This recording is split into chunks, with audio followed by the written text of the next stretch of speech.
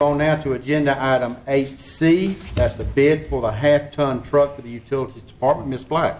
Yes, sir, we solicited bids, um, again, for utilities for a half-ton truck to replace a 2007 truck with a blown engine.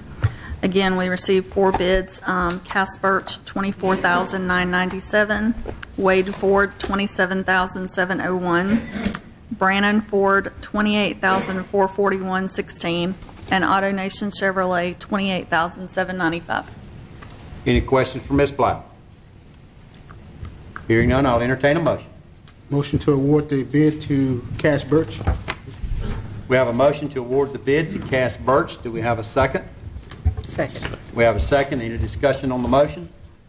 Hearing none, we'll call the vote. All in favor signify by aye. Aye. Any opposed, like sign. Hearing none, the motion carries.